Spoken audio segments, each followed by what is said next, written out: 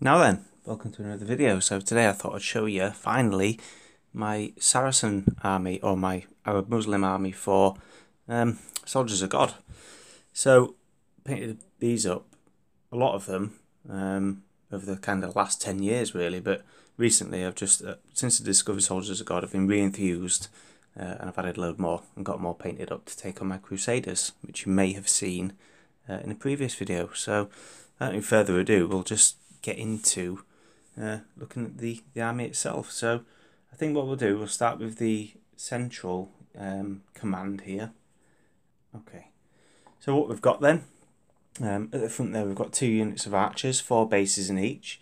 So in Soldiers of God the minimum unit size is two bases and then you pay extra points per base. So minimum two up to four is a maximum size. So what I could do is have these as four units of two if I wanted to. Um, I could deploy them as light infantry, so you just split them up like that. And you just have a big skirmish screen of archers. So it's quite flexible in that way, um, which is cool. But what I'll do is, just for now, I'll keep them as units of uh, four bases, so quite large bases of archers. Um, just sat behind them, we've got the uh, Muslim infantry, the Arab tribal infantry. Um, excuse me. Uh, so I've got three three units of four bases of those. Uh, and then behind them, um, we've got the um, Arab tribal cavalry. Uh, they're all armed with lances. So the way I've modelled them, those ones over there are the uh, Arab cav cavalry, um, and these two units here are um, Syrian lancers. So, so I've got the um, central command there, and behind, what I've also got is um, the the baggage train there. These are from. Where did I get these? It'll come to me.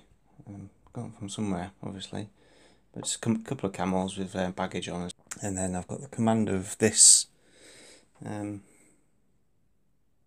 central division there. Um, there he is. Just that guy there. Just found these flags online. Just googled um, uh, Muslim flags for the Crusades and just loads of images come up, so I just printed off a sheet. No idea where they're from, but whoever made them, thanks very much. Um, yeah. Yes, that's the command stand for that block there. And then what we'll do is we'll spin over this way. Uh, now the real power of the, the Muslim army in the Crusades was its cavalry. So over here we've got a cavalry wing, but we've also got some skirmishers attached to the front of it.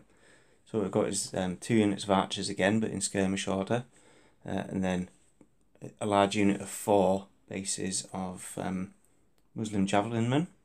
Again, I could split these up and deploy them as light infantry, which is probably what I will do. So I have a large unit like that, and then Turco men, Turkomen over there, horse archers. Um, another unit there, another small unit of skirmishers, and then behind we've got Safadin, I believe his name is. He was um, Saladin's brother. Uh, so he's in command of this uh, wing.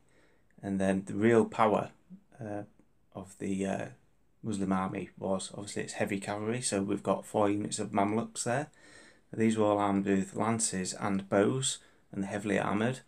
So they're kind of more than a match for the, uh, the Crusading Knights, but they've got bows as well. Um, they must have been a real nuisance to fight against. Um, but yeah, there they are, there's four units of those. So, spinning around again. Okay, so over here then we've got the the right wing of the Muslim army, uh, composed exactly the same as the other one, but this one here is led by Saladin, and there he is there on his horse. Um, same again with the um, Turkoman there, javelin men, uh, light infantry archers, and then four units of Mamluks behind. So altogether, um, this army probably outpoints my Crusaders a little bit, but um, I don't think I'll be adding too much more to this. Um, just give you a quick spin round. There we go. Yeah, it's taken me a long time to paint these, but I really do enjoy the uh, the Crusades period and um, the Soldiers of God rules. I'm, I'm really enjoying as well. What I've found as well on their Facebook group, they've got a, an, like a, a program that you can download. It's an army builder. So here's an example of one here. Um, once you download it, you just click on the units and you've got a drop down menu. You fill it in, and then it fills in what exactly they are. You put in how many stands you want. It gives you all your points and everything, and your morale value and all that sort of stuff. So it's dead handy, and then you just print it out so you can change your army in between games. It's really good. Um, but yeah, there we go. I hope that video isn't too dark. Um, as always, I'm struggling with the light here, but um, yeah, there's my Saracens. Hopefully, I'll be able to get a game soon once we're out of lockdown, and um, might even do a bit of a battle report with them. Anyway, I've started to waffle, so I'll leave it there. Um, thanks very much for watching, and I'll speak to you all again very soon. Bye bye.